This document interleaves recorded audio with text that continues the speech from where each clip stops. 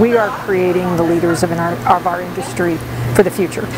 And in order to lead properly, they need to understand what everyone in the in their staff is going to be doing.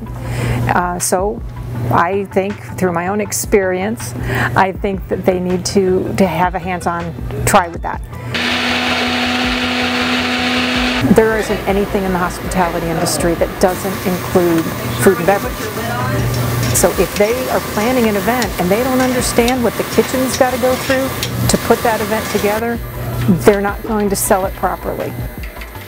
I always looking to work in management, so working in kitchen is something like new to me.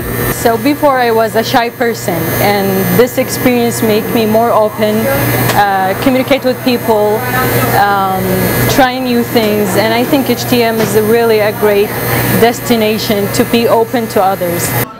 And then for dessert, I just put, I think one of them is um, We'll do a menu for three weeks. So before this, we had um, an American-based menu, and then a Japanese-based menu, and then now it's the French cuisine. It's definitely communicating well with um, the other students that you're working with, and with the full-time staff, and just in each other in general, as well as trying to be mindful of like time and paying attention to others' needs.